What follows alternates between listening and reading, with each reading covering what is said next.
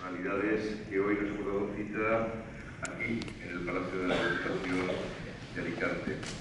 Concejales también, compañeros de, de corporación. Ilustrísimo señor don Alfredo Gómez Gil, distinguido por su majestad el rey con la encomienda con placa de Alfonso X el Sabio. La ciudad de Alicante se suma al gozo por esta altísima dignidad. Desde el Ayuntamiento aplaudimos este premio que viene a reafirmar su trayectoria como alicantino universal, con una admirable labor como docente y poeta, pues en todo momento ha vivido en contacto con el mundo de la cultura como profesor, escritor, crítico, periodista, conferenciante y viajero por todos los continentes de nuestro mundo. Hago bien en comenzar estas palabras, pues, con la palabra ilustrísimo, por la encomienda lo lleva implícito. Aunque para los alicantinos usted ya era ilustrísimo desde hace décadas. Y a su base me remito, políglota, catedrático de la Universidad, doctor en Filosofía y Letras por la Universidad Complutense de Madrid, Complutense de Madrid doctor honoris causa por la Richmond American University, pionero y dinamizador de un sinfín de proyectos y actividades culturales, editor, traductor, director de las tertulias literarias del Casino de Madrid, que con tanta amabilidad alguna de sus anécdotas nos acaba de estar contando eh, hace, hace muy, muy pocos minutos. Gracias, alcalde. A continuación se va a proceder a la imposición simbólica de la encomienda con placa por parte del ilustrísimo señor don Carlos Mazón, presidente de la Diputación de Alicante, al ilustrísimo señor don Alfredo Gómez Gil, a quien rogamos suba a la presidencia.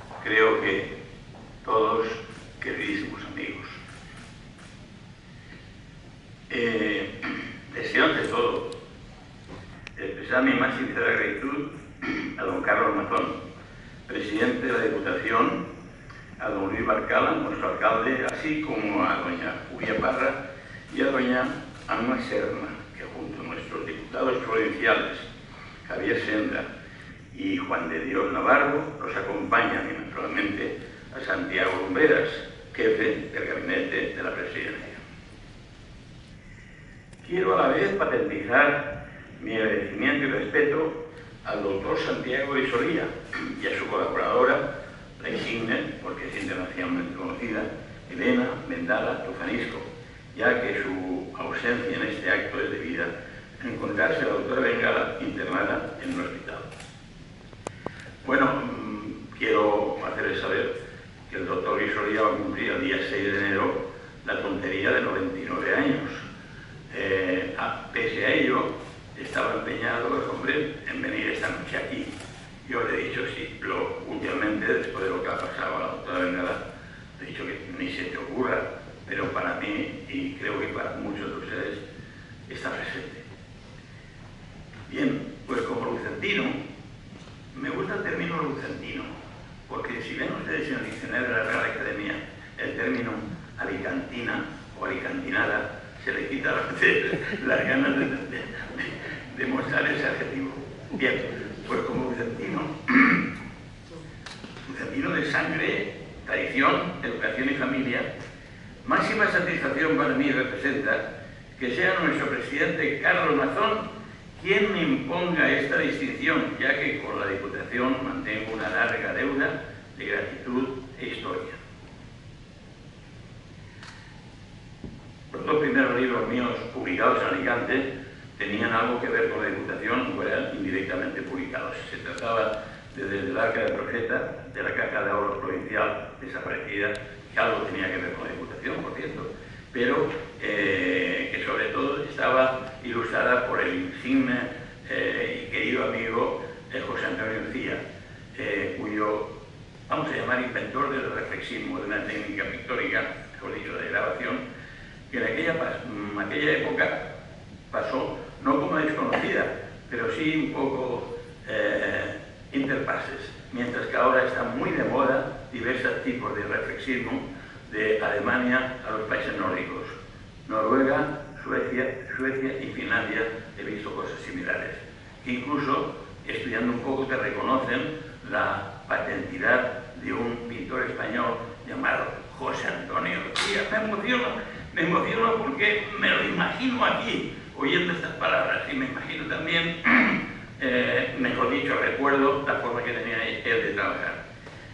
Bien, pero pasemos ahora a obras eh, cuya autoría, llamémosla así, pertenece a la Diputación, totalmente casi. Los dos libros que yo considero más significativos publicados en Alicante, considero no unos, por supuesto. Me refiero desde el Arca del Profeta a La frente en el suelo eh, y a pasados nos quedamos con La frente en el suelo. Eh, eso se publica en 1976 y lleva un prólogo precisamente de nuestro querido académico Vicente Ramos Pérez. Mm, contiene una serie de láminas de pintores de aquel momento solamente vivo, que era uno, que yo sepa, eh, que son óleos, seis completos óleos de dimensiones oscilan entre los 75 a los 67 de ancho, eh, magníficos. Hay una anécdota curiosa que pasó el año pasado. En Madrid uno de los mejores coleccionistas, históricamente hablando, de pintura y escultura del mundo, incluso porque tiene en su finca, como si dijéramos un museo secreto, parece de película, y, su, y su casa una maravilla. Eh, me dice, tengo un libro dedicado por ti, dedicado por mí. Eh, bien, mm, me lleva a su museo y en efecto el libro ni más ni menos que exactamente es que mm, me hace una gracia tremenda, porque la no solo que en realidad no es un libro, en realidad es una revista, porque dijo la Diputación, te lo hacemos el libro, era muy pequeño para poner estas seis maravillas. Bien, pues sí, está dedicado por mí a, un determinado señor eh, valenciano, vamos a llamar de la, de la, identidad valenciana. Y eh, digo, bueno, esto no tiene gran, importancia para, una persona como tú te vas al museo y dices, no, no, observa cada uno de los óleos y cada uno de los óleos va por los seis artistas. Como conozco bastante bien la reacción de un artista cuando se le da una fotografía con uno de sus cuadros y se dice, fírmamela, no hay dos respuestas, ¿por qué no te lo compras el cuadro? o porque no se lo pides a alguien para que no te tenga yo que decir a ti directamente que no. Caso concreto, el de Eberhard Slotter, cuando una, una hija del alcalde de Atea va con una postal de un cuadro de Slotter y le dice, maestro, es que mi, mi amigo, tengo una amiga alemana eh, que está en Hamburgo que le hace una ilusión tremenda tener algo firmado por usted, porque claro, no tiene dinero para comprar un cuadro y Everhard con esa simpatía alemana tan, eh, tan hamburguesa dice, eh, ¿por qué no se lo compra? Y si no se lo compra, ¿por qué no se lo pide a los Reyes Magos? Muy de pintores de aquella época. Bien, pues la obra más significativa que debo de agradecer a la Diputación es mi tesis doctoral, con Chalagos bajo dominio de la literatura comparada, que es la primera tesis doctoral que se publica en España. Tesis y libro. Eh, es segunda edición, se acaba la edición y de repente encuentro eh, que se me va acumulando unas cantidades de dinero insospechadas por mí en Cedro. Cedro es ni más la compañía que se dedica a registrar las copias que se hacen sobre el original y naturalmente te las pagan a ti. Pues resulta que eh, se pone de moda eh, la literatura comparada en España, existe ya hasta cátedra, cátedras y en el extranjero lo mismo, no tiene más, más ni menos que recurrir ese libro. No porque sea bueno, sino porque era el único. Ahora supongo que lo es. Bien, eh, el vino con esto eh, se hace, como si dijéramos, una obligatoriedad disciplinaria educativa esencial para cualquier cooperatista. Y pasamos ya a otras conexiones con la, eh, con la Diputación, que es, por ejemplo, los recibimientos a diferentes, a dos, concretamente dos embajadores de las dos embajadas, hasta entonces más apartadas de Alicante, que es el embajador de la República Popular China, hablando de los años 1970, o sea que todavía tenía un carácter un tanto miliciano, por decir algo, a diferencia del aspecto de elegancia sofisticada de los actuales embajadores de China. Lo convenzo, a través precisamente de, de Juan Serrano, secretario, secretario de esta diputación de aquella época, para que se le invite oficialmente si quería venir, porque está invitado por mí. En aquella época, eh, el embajador chino, encantado, viene con toda su cuadrilla, vienen precisamente, repito la palabra, no sé exacto, pero vienen vestidos de milicianos en aquella época. La mujer, por cierto, parecía que viniera de, de un maquis, o sea, eh, tanto la Diputación eh, nos da una cena magnífica o comida, no recuerdo, y entonces Pepe La Salesta, alcalde de Alicante, con el cual, por cierto, tengo que confesar que nunca me lleve bien, se empeña en que tiene que dar al ayuntamiento también una comida al embajador chino, porque era la primera visita que hacía una embajada china a Alicante. Dan la, la comida nada menos que en el, eh, en el castillo, Castillo San Fernando, y mmm, la saleta prepara una sorpresa que es unos cuantos moros y unos cuantos cristianos vestidos naturalmente sacados de la fiesta de provincia, con sus vestimentas y sus arcabuces, esperan a que subieran los embajadores. Y cuando los embajadores chinos descubren que hay un movimiento, empieza el, el discontinuo eh, porroteo de, los arcaburazos, pum, pum, pum, pum, y a la señora embajadora tuvimos un poco más o menos que llevarla al hospital. Bien, pues naturalmente si traje chino había que traer al japonés por vecindad, ¿no? japonés fue diferente, precisamente nada menos, además me lo recomendó, me lo pidió, haz lo que puedas, Alfredo, Vicente Ramos. Porque el embajador Eikichi Hayashida era ni más ni menos, además de ser un gran, un gran embajador, porque el propio era amistad además cercana al propio embajador de aquella época, que era Hirohito, o sea, un pueblo de actual. Eh, además de eso, Eikichi era nada menos que eh, académico de la Real Academia Española, con, con, horario honorífico, y eh, tenía una historiografía literaria enorme con Hispanoamérica.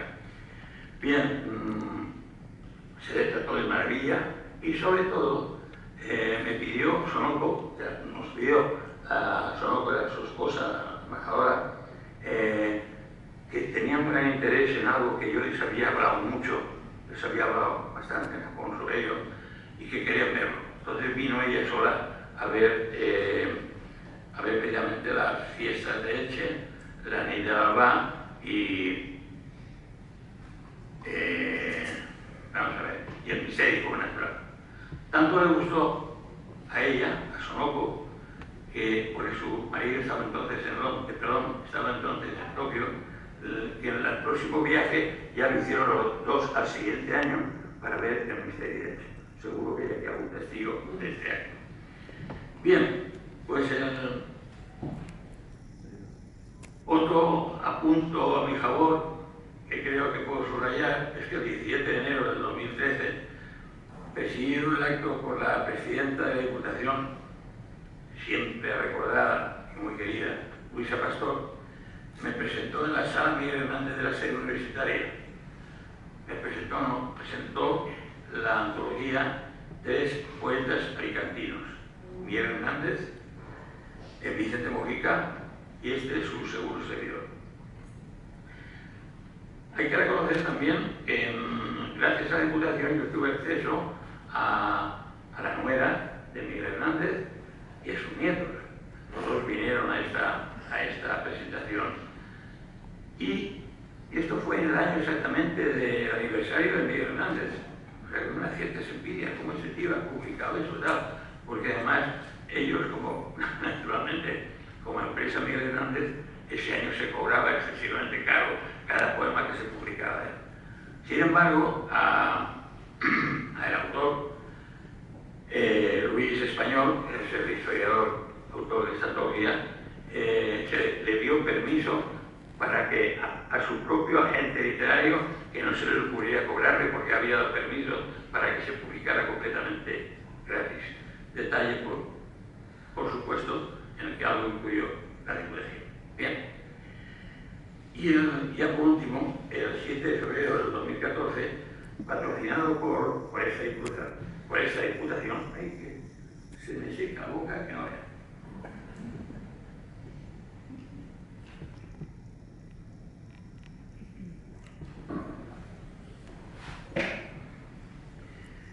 Bien, pues en el 2014, naturalmente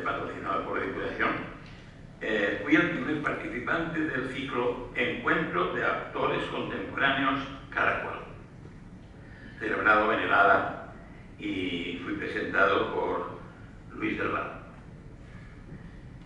Bien, pues creo que se me ha pasado tiempo, así que eh, solamente que añadir unas palabras para señalar que eh, Juan, Vidal, Juan, Vidal Ramos, pariente de mi abuela Natividad Escoto Trezarrillo, por tanto, lejano, soy lejano pariente de él, arquitecto de esta santa casa, de este maravilloso palacio, y que mmm, Vicente Ramos, para mí, también parte, eh, quiero decir equitativa, porque tiene una, parte muy grande de valor, mmm, Vicente, con esta Diputación que le encargó la historia de la Diputación de Alicante. Libro que me ha servido infinidad de veces a nivel histórico, a nivel político, a nivel social. Y ahora sí que termino. Y al igual que Don Quijote se sirve del romancero sin citar a Lanzarote, yo les digo, nunca fuese caballero de amigos tan atendido como fuese este poeta cuando a su tierra se vino. Infinitas gracias. Thank you very much.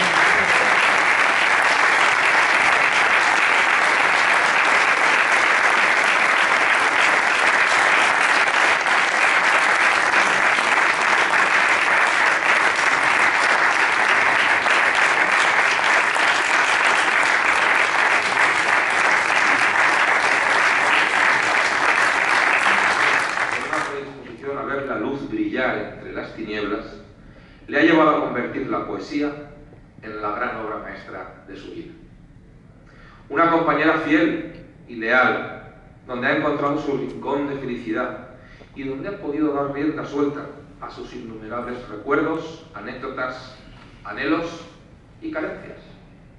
Alfredo es un hombre de mundo que no obstante ha sabido echar raíces en muchos de los lugares en los que ha recalado. gracias a su tremenda humanidad y a su voluntad por relacionarse y acercarse a personas, ambientes y pensamientos de diversa índole. Alfredo no pertenece a nadie, sino a él mismo, pero el mundo le pertenece a él, porque ha sabido comprenderlo en toda su enormidad, en parte debido a sus incesantes aspiraciones por ampliar conocimientos y a sus innumerables viajes. Hoy, querido y admirado Alfredo, te brindamos este merecido reconocimiento en tu tierra de nacimiento y de corazón, con motivo de la concesión de la encomienda con placa de la Orden de Alfonso X el Sabio, que ya luces. Tus logros académicos, tu bagaje literario, tu loable labor de investigación, tu vasta sabiduría, tu vasta sabiduría, al fin y al cabo, tu legado personal, que es indisoluble del profesional, quedará perpetuado gracias a tus cientos de libros, poemarios, publicaciones, conferencias, tesis y textos periodísticos. Pero tu esencia, tu razón de ser, tu habilidad para conectar con otras realidades sociales, culturales e idiomáticas, ahondarán también en el patrimonio inmaterial del imaginario alicantino o lucentino, como personaje de referencia para las presentes y futuras generaciones. Gracias, Alfredo, por tu inconmensurable aportación académica y, artista, y artística universal, porque eres alicantino de nacimiento, pero ciudadano del mundo. Siempre has sido un aventajado ideológico, un precursor de acciones, un romántico del aprendizaje, una persona de curiosa naturaleza, ávida por exprimir lo que la vida te ha ofrecido y lo que tú has extraído de ella. La provincia de Alicante siendo